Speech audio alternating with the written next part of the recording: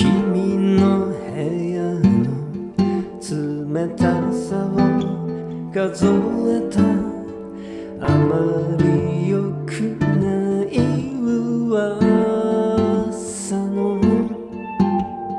やつらと遊んでる。そん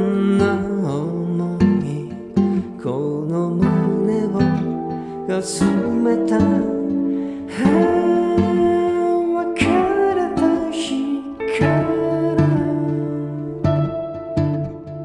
はあそれぞれの朝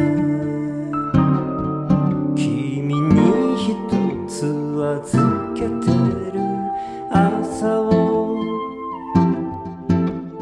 もう一度だけ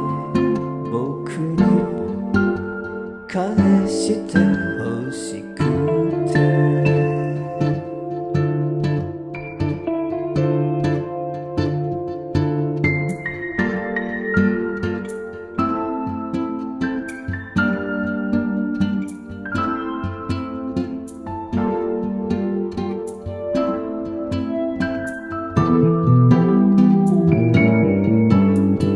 重い三脚下ろした？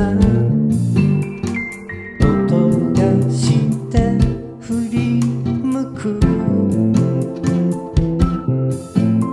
早起きなのね。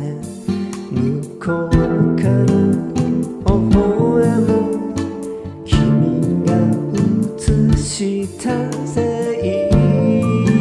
座に